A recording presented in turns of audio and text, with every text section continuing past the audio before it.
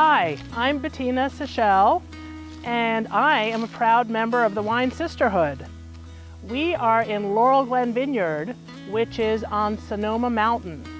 At the bottom of this hill is the closest town to us, which is Glen Ellen. Glen Ellen is this very cute little community completely surrounded by uh, parks and open space, which has kept it historically very small. It was also the home of Jack London. So Laurel Glen Vineyard was first planted to grapes in the 1880s by the German settlers to this part of Sonoma County. Today, all we grow here is Cabernet Sauvignon. The first Cabernet Sauvignon vines were planted in the 1960s, and this is the oldest block we are still farming, planted in the 1970s. Laurel Glen Vineyard has proven itself to be a great site for the variety of Cabernet Sauvignon, and that is because of where we're situated. Sonoma Mountain is the first significant windbreak to the Pacific, and on the west side of Sonoma Mountain, it is too cool for grape varieties like Cabernet Sauvignon. But once you crest Sonoma Mountain and come a little bit east, it becomes warm enough because the mountain protects us to grow Cabernet Sauvignon. We are above the fog line here at about a thousand feet, and we're on a plateau that isn't shaded by the mountain in the afternoon. So we have perfect conditions to ripen Cabernet Sauvignon. And additionally, we harvest every year ripe Cabernet Sauvignon that has a little bit of acidity still in the grapes. And that is what makes Laurel Glen Vineyard so special. It has this kind of lightness, I like to say lightness on its feet, that you don't find in every Cabernet, and it's what gives the wine its, its, its distinctiveness. So what's so nice about the Cabernet we grow here is how small the berries are. You want Cabernet berries to be as small as possible because the color comes from the skin and a lot of the complexity of the wine comes from the skin. So the more skin to juice ratio, the better. Mmm, yummy.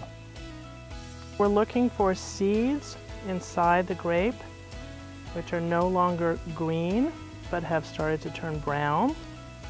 Comme ça. I'm Randall Watkins, the winemaker for Laurel Glen Vineyard.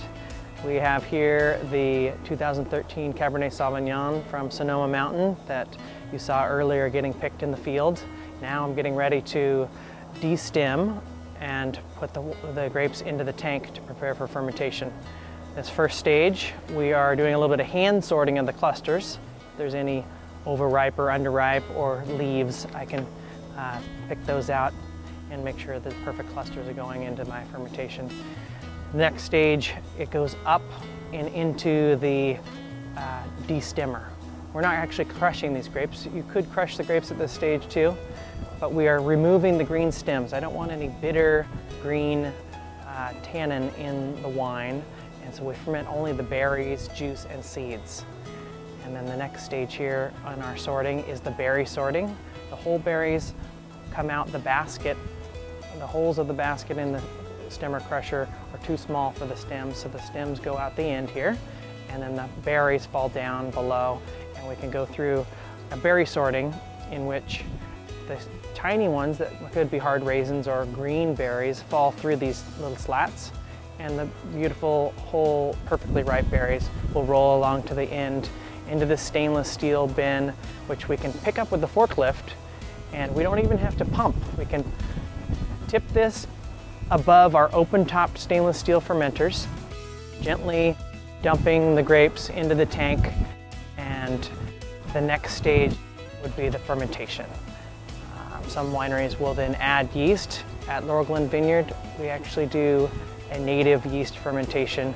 And during that process, the berries rise, rise to the top, the skins rise to the top, and the juice is in the middle. I want to mix the juice with the skins. Skins contain all the flavor, or, or all the color, and a lot of the great flavor.